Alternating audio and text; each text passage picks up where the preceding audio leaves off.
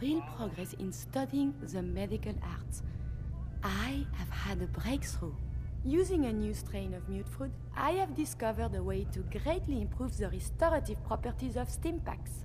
I realize this is not earth-shaking, but it means that inspiration does exist.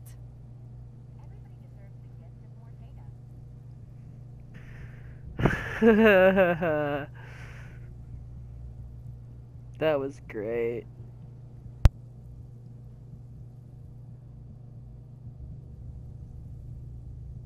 Sounds useful. I can use some. Of course.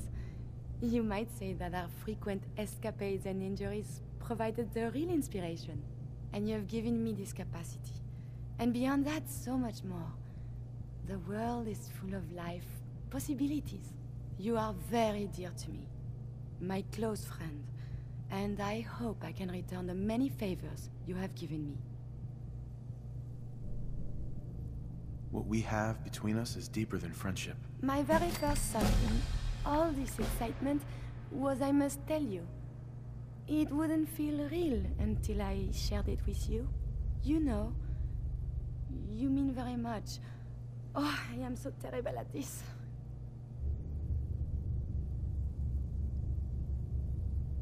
It's okay. You mean a lot to me, too. Ah, I dared not hope. When we're apart, I guess and second guess.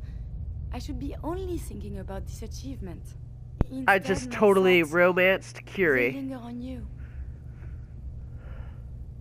What? Yes. Maybe I can take you out to dinner, see a movie, or whatever people do these days. I may be getting this out of order, but I love you. And I would like this very, very much.